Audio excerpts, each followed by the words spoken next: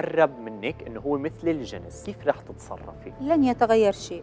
دي حريته الشخصية أنا ما خصني فيها. أنا شايفة يعني في أمور حرية شخصية ما حدش يحكم على حد. يعني ما حدش يعرف ده ظروفه إيه. في ناس متابعة جيدة شو شفتي؟ لي أبدا. أفكار كتير كتير حاجات. شفتها فيديوهات كانت صادمة بالنسبة لي. ليه نعمل عمل فني عنه؟ ما تعملوا بتقدر المثليين وبتهاجم الشيخ الشعراوي. إلهام شاهين تضع نفسها في مأزق. أنا بقدر المثليين جنسيا جدا وحاسة بيهم كلهم ودي حريتهم الشخصية. الفنانة إلهام شاهين رجعت من تاني علشان تثير الجدل على منصات ال social media بتصريحاتها اللي مفيش اتنين بيتفقوا عليها والمرة دي خبطت في الشيخ الشعراوي ووصفته بكلام مش كويس في حقه. هي إيه الحكاية؟ إلهام متعودة دايما في كل فترة كده تطلع في لقاء وتتكلم وتقول كلام كتير جدا ما يعجبش الجمهور. ودي حاجة مش جديدة عليها. إحنا متعودين على الكلام ده من زمان.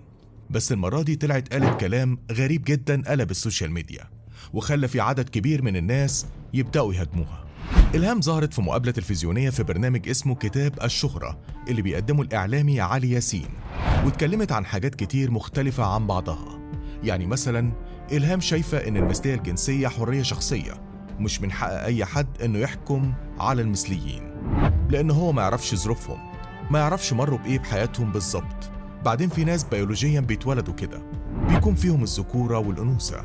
وإحنا ملناش إننا نحكم على أي حد فيهم. ولازم كلنا ندعمهم ونقدر ظروفهم كويس جدا. التصريحات دي مش غريبة ولا جديدة على إلهام. هي دايما كده ومعودانا بتصريحاتها على الحرية الشخصية والجنس والمثلية. لكن اللي قلب الدنيا هو كلامها عن الشيخ الشعراوي عليه رحمة الله. إلهام شايفة إننا ما ينفعش إن نقدم سيرة ذاتية للشيوخ. كل ده بسبب إنها شافت للشيخ الشعراوي فيديوهات كانت صادمة بالنسبة ليها زي مثلا رأيه في ضرب الأزواج وإن مباح طالما الزوج شاف عورة الست وإن الراجل اللي بيتجوز ست مسيحية ما ينفعش يعايد عليها في عيدها ولا يخرجها. وأكتر حاجة خلتها مش بتحب الشيخ الشعراوي ولا بتحب تسمع له لما قال عن المريض إنه مش لازم يتعالج عشان ما يتأخرش على لقاء ربنا. كل الكلام ده طبعا كان على لسانها. إلهام شايفة إننا بدل ما نقدم سيرة ذاتية للشيوخ الأفضل إن إحنا نقدمها لعلماء فادوا البشرية. وتصريحاتها عن الشيخ الشعراوي دي قلبت الدنيا وخلت ناس كتير جدا يهاجموها والتعليقات السلبية نزلت عليها زي المطر. اللي بيقول ليها ابعدي عن الشيخ الشعراوي يا إلهام واللي بيقول ليها حتى الراجل المحترم ما سلمش منكم واللي بيقول ليها خليكي في المثلية بتاعتك وسيبي لنا الشيخ الشعراوي نتعلم ونستفيد منه.